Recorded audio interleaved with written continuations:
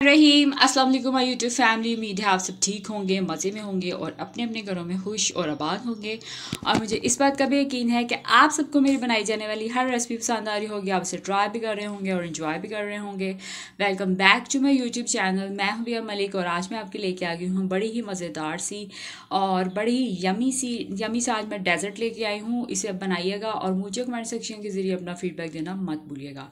जो सबसे पहले जो लोग मेरे चैनल पर न्यू है, उनसे मेरी रिक्वेस्ट है प्लीज़ मेरे चैनल को सब्सक्राइब करें। बेल आइकन को प्रेस कर दें ताकि आने वाली हर नई वीडियो की नोटिफिकेशन सबसे पहले आपको मिले। और आप मेरे चैनल के साथ अप टू डेट इंट्रैक्ट करते रहें। और जो लोग पहले से मौजूद हैं और अभी तक चैनल को सब्सक्राइब नहीं किया तो please guys subscribe the channel and press the bell icon तो आज हमारे किचन में बन रही है जी, बड़ी मज़ेदार सी खीर बन रही है, ठीक है? और ये मैं आपको बनाना सिखा रही हूँ, इसे ज़रूर ट्राई कीजिएगा और मुझे आप बताइएगा कि आपको ये कैसी लगी। इसके अलावा कोई भी ऐसी रेसिपी है जो आप मुझसे सीखना चाहते हैं तो वो भी मुझे कमेंट सेक्शन के ज़रिए बता सकते हैं, ठीक है जी? और तो फिर चलते हैं आज की रेसिपी की तरफ़, जिसका नाम है खीर, चावलों वाली। तो गाइस हमेशा की तरह सबसे पहले मैं आपको रेसिपी से जुड़े हुए इंग्रेडिएंट्स बता देती हूँ। यहाँ पर गाइस मैंने चीनी ली है तकरीबन ये लिया है वन बाउल ठीक है? आप अपने टेस्ट के फ्लेवर के हिसाब से ले सकते हैं। ये है चीनी। यहाँ पर मैं खोया ले रही हूँ तकरीबन आधा पाव। और ये आपके सामने है। बादाम ले रही हूँ। यहाँ पर मैंने तकरीबन आधा पाव लिए हैं बादाम और ये आपके सामने हैं। यहाँ पर मैंने चावल लिए हैं, तकरीबन एक प्याली और इसे मैंने थोड़ा सा ग्राइंड किया है, हरी इलायची ले रहे हैं जी, ये जायके के लिए इस्तेमाल होती है और ये बहुत ही अच्छी लगती है इसकी खुशबू भी दूध के अंदर। तो यहाँ पर दूध मैं ले रही हूँ दो किलो और ये आपके सामने है, ठीक है जी? दूध को देख लीजिए अच्छी तरह से। तो ये हमारे आज के इंग्रेडिएंट्स हैं। होप सो आपने इसे नोट कर लिया होगा। चाहे तो एक स्क्रीनशॉट ले लीजिए। तो चलते हैं इस रेसिपी की मज़ेदार सी रेसिपी की तरकीब की तरफ़। तो गाइस यहाँ पर मैंने फ्लेम को कर लिया है ऑन और अपनी देचकी को मैंने रख दिया है गर्म होने के लिए। आप देख सकते हैं दूध को हम गर्म कर रहे हैं, ठीक है? ये टू के जी दूध है। इसे आपने थोड़ा सा स्लोली स्लोली जो है वो गर्म करना है। इसके हिसाब से ही मैंने इंग्रेडिएंट्स लिए हैं आज के।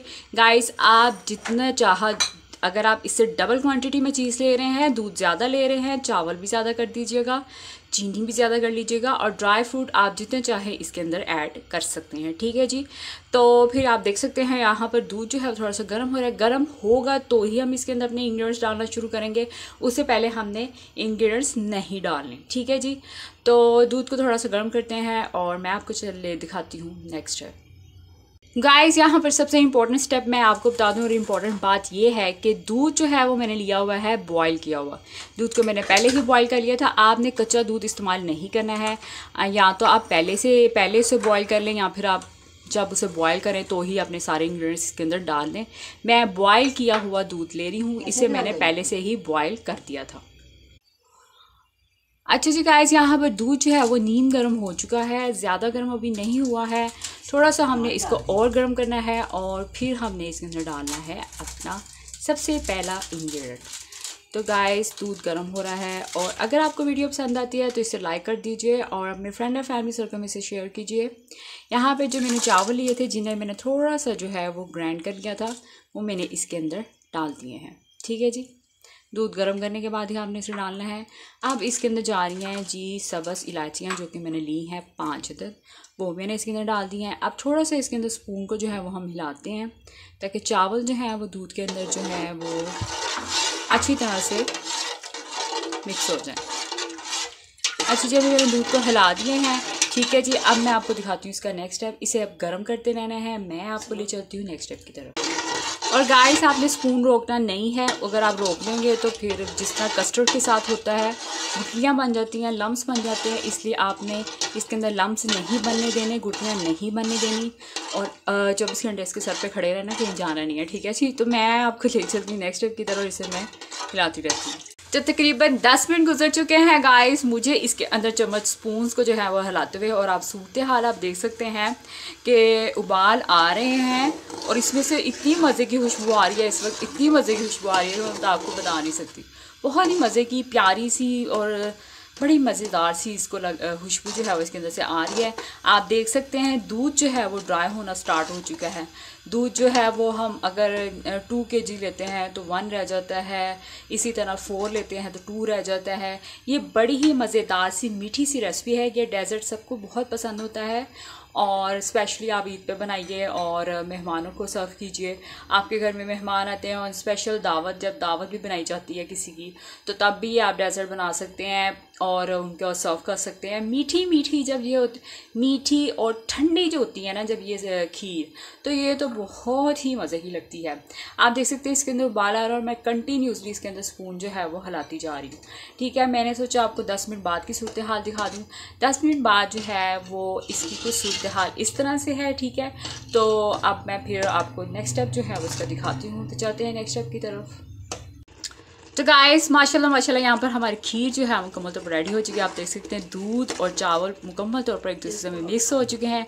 ऑन दिस नोट जब गाढ़ी होना शुरू हो जाए आपका जो ये खीर है, गाढ़ी होना शुरू हो जाए, जैसे कि अब आपको देख सकते हैं, आपको नज़र आ रहा होगा तो तब आपने क्या करना है? चीनी इसमें ऐड कर देनी मैंने वन बॉल चीनी ली है और वो मैंने इसके अंदर ऐड कर दिया है आप चीनी को अच्छी तरह से इसके अंदर मिक्स करते हैं।